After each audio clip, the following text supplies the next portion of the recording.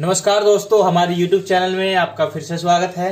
दोस्तों, आज हम आपको बताएँगे चक्की मोटर के बारे में कुछ जानकारी देंगे। चक्की मोटर के जो कनेक्शन होते हैं, सीरीज़ कनेक्शन होते हैं, सिंपल कनेक्शन उसको बोलते हैं। एक होता है पैरेलल कनेक्शन, जिसको डेल्टा भी लोग बोलते हैं। तो उन दोनों कनेक्शन के बीच में मैं आपको बताऊँगा कि क्या वो फ़र्क होता है और क्यों करते हैं उस कनेक्शन को। देखिए स्टार कनेक्शन जो होता है, वो जितनी भी क्वाइले होती हैं रनिंग की रनिंग की जो क्वाइले होती हैं, उसका लाइन से जोड़ा जाता है। एक से तीन में कनेक्शन उनके दिए जाते हैं। सीरीज़ कनेक्शन में स्टार्टिंग के भी सीरीज़ कनेक्शन इसी तरह से होते हैं। ये सेम फराटा फ़ैन कूलर मोटर के अंदर जो कनेक्शन होते हैं, जैसे चार चार क्वाइले होती हैं, उनको आपस में एक से तीन में जोड़ा जाता है। इसी तरह से चक्की मोटर के अंदर चार सेट होते हैं रनिंग में, चार स्टार्टिंग में। तो सीरीज़ में जब कनेक्शन करते हैं तो एक से तीन में उनको जोड़ा जाता है चारों को। रिंग के चार सेटों को एक से तीन में जोड़ा जाता है। तो उसको सीरीज़ कनेक्शन बोलते हैं। ठीक है? और जो पैलर कनेक्शन होते हैं, उसमें करते क्या है? जो चक्की मोटर होती है, उसमें जो स्टार्टिंग का होता है, उसमें तो सीरीज़ ही होते हैं, लेकिन रनिंग के अंदर पैलर कनेक्शन देते हैं। दो सेट को आपस में जोड़ा जाता है एक से तीन में फिर दो सेट को आपस में जोड़ा जा, जाता है।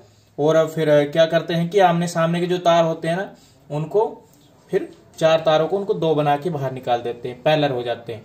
उसको कई लोग डेल्टा भी बोलते हैं। तो ये है सीरीज़ और पैलर कनेक्शन। ये ठीक हो जाते हैं। इसके पीछे कारण क्या है?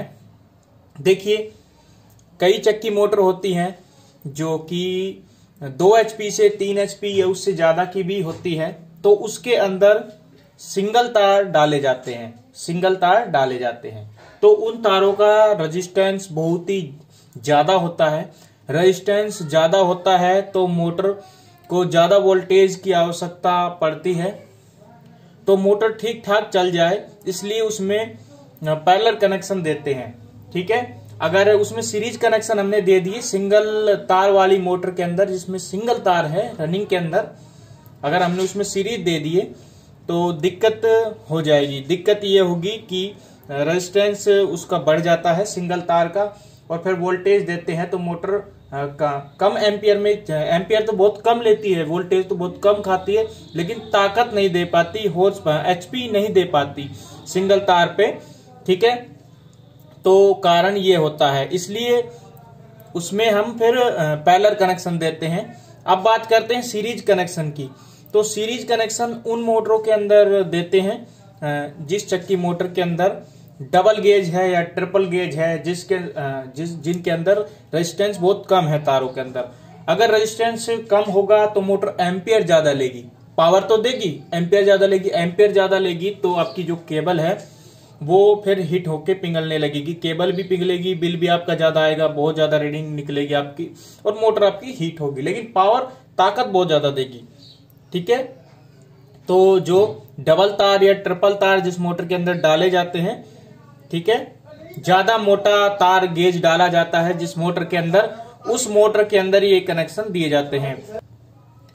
तो ये फंडा है। जिन मोटरों के अंदर कनेक्शन सीरीज़ के होते हैं, उसके एम्पियर जो होते हैं, काफ़ी कम देखने को मिलते हैं और उसमें डबल तार या ट्रिपल तार मोटर के अंदर होते हैं। लेकिन जिन मोटरों में सिंगल तार होते हैं, उसमें पैलर कनेक्शन दिया जाता है। अगर हम उसमें सीरीज़ कनेक्शन देंगे तो वोल्टेज भी कम खाएगा, एम्पियर भी मोटर कम लेगी और ताकत भी मोटर कम लगाएगी। तो और जो इसके आरपीएम है 1440 आरपीएम होते हैं, वो भी आप मोटर पूरा नहीं देगी, राउंड भी। और फिर दिक्कत होगी।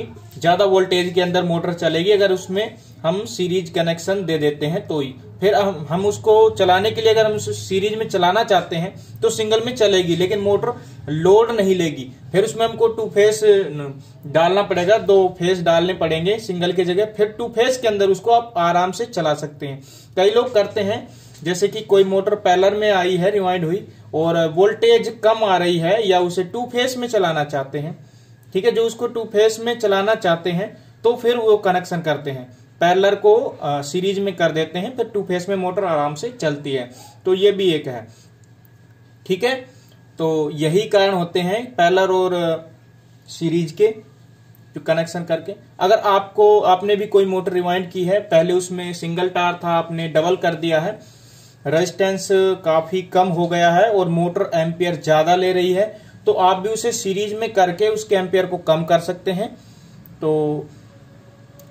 बस यही कारण होता है कि एम्पियर और एचपी का मैनेजमेंट करने के लिए उसको फिक्स करने के लिए कनेक्शन किए जाते हैं। कई मोटरों के अंदर डेटा बदल देते हैं डबल तार करते हैं और फिर मोटर एम्पियर ज़्यादा लेती है, फिर उस मोटर का भी कनेक्शन सीरीज़ में किया जाता है, जो मोटर ज़्यादा एम्पियर लेती है। ठीक है? क्योंकि रेजिस्टेंस वहाँ पे काफ़ी कम हो जाता है और जिन जिन मोटरों में ज़्यादा रेजिस्टेंस होता है तार बहुत ही बारीक होते हैं या सिंगल तार होते हैं तो उसमें फिर पैलर कनेक्शन मोटर के अंदर दिए जाते हैं, या फिर वोल्टेज कम आती है आपके घर के अंदर, आपके मोटर के मान लीजिए पैरलर सॉरी, सीरीज़ कनेक्शन है और वोल्टेज काफ़ी कम मिल रही है तो आप उसे पैलर में करके चला सकते हैं। बहुत अच्छा सिस्टम है, बहुत अच्छा जुगाड़ है। तो बस यही कारण होता है कि मोटर का जो एम्पियर है, होता है और मोटर का जो डेटा होता है, उसके हिसाब से ये कनेक्शन किए जाते हैं।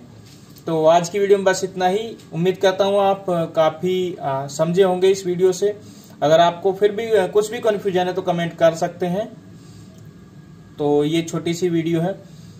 वीडियो पसंद आए तो लाइक करें, दोस्तों शेयर करें, चैनल को सब्सक्राइब करें। फिर मिलेंगे अगली वीडियो के साथ। जय हिंद, जय भारत।